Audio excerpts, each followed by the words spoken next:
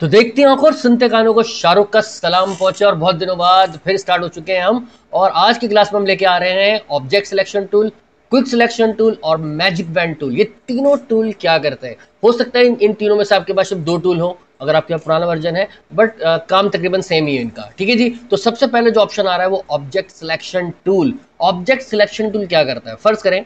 आपके सामने ये एक लेमन आ रहे हैं, ठीक है? लेमन से बहुत सारे नींबू के बहुत सारे ऑब्जेक्ट यहाँ पे रखे हुए हैं।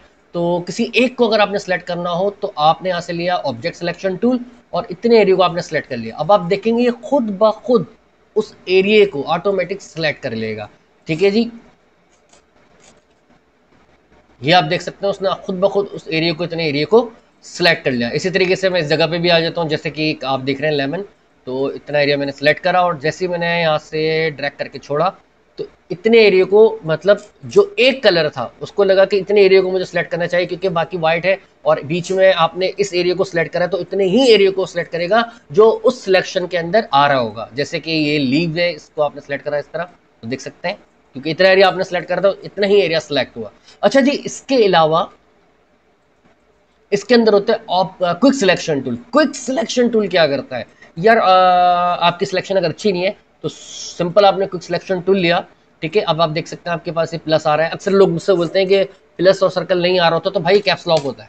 कैप्स लॉक दबाएँगे तो ये इस तरह आएगा और कैप्स लॉक दबाएँगे तो ये प्लस का साइन आएगा और बाकी इस तरह टारगेट का साइन आएगा कैप्स लॉक दबा के। अब आप क्या करते हैं कि क्विक सिलेक्शन टूल लेने के बाद आपने सेलेक्ट करा सिंपल क्लिक करा और क्लिक दबाते चले गए तो ऑटोमेटिक सेलेक्ट हो गया। यानी कि आपने इतने एरिया पे क्लिक करा और मूव करा माउस को आगे आगे आगे तो खुद ब खुद सेलेक्ट करके उतने एरिया को कवर कर लिया।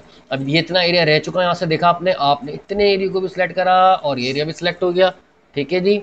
और आपने इतने एरिया को सिलेक्ट करा और ये एरिया भी सिलेक्ट हो गया। तो ये क्विक ऑप्शन है सिलेक्शन के लिए। ठीक है जी?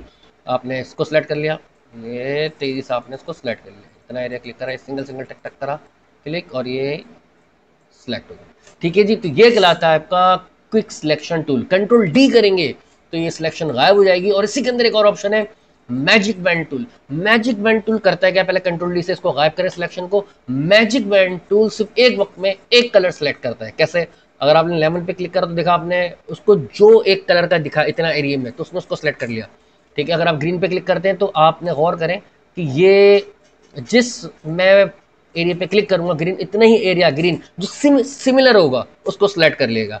इसकी मिसाल इस तरह ये कलर देखे ना आप व्हाइट ये ऑफ़ वाइट जो आपको दिख रहा है, आपने सिंपल क्लिक करा, पूरा off white colour automatic select हो चुका है। जहाँ जाओ उसको ऑफ़ वाइट कलर मिला, ठीक है? यानी कि इसकी मिसाल इस तरह लें कि आपने एक एरिया इतना सेलेक्ट करा और उस पर कलर करा आपने ऑरेंज एक लेयर आप, इसी लेयर पे रहते हुए आपने इतना एरिया सेलेक्ट करा, इसके ऊपर रख लिया और यहाँ से कलर ले लिया आपने क्लिक करके ये ऑल्टर बैक स्पेस अब आप जब कुछ सिलेक्शन मैजिक बैंड टूल पे क्लिक करके क्लिक करेंगे तो एक वक्त में सिर्फ़ एक एरिया वो सिलेक्ट करेगा। ठीक है जी? उम्मीद करता हूँ आपको समझ में आ गई होगी आज की क्लास बहुत जल्द नेक्स्ट क्लास भी आने वाली है और कंप्लीट हो जाएगा हमारा फोटोशॉप का कोर्स और मेरे चैनल को जब तक के लिए सब्सक्राइब कीजिए लाइक कीजिए और अपने दोस्तों के साथ ज़रूर और अपने दोस्तों के साथ ज़रूर शेयर कीजिए। जब तक के लिए मेरे चैनल को लाइक कीजिए सब्सक्राइब कीजिए और अपने दोस्तों के साथ ज़रूर शेयर कीजिए। Take care bye bye